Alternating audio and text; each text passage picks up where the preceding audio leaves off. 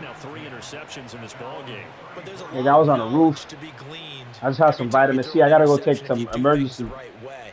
And hasn't there been a pretty darn good quarterback along the way who threw a lot of interceptions early, learned from them, and became great later? Who would that be? That'd be one Peyton Manning threw 28 That's the NFL record.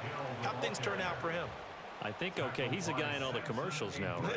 yeah, I think he's He's gone. He quit.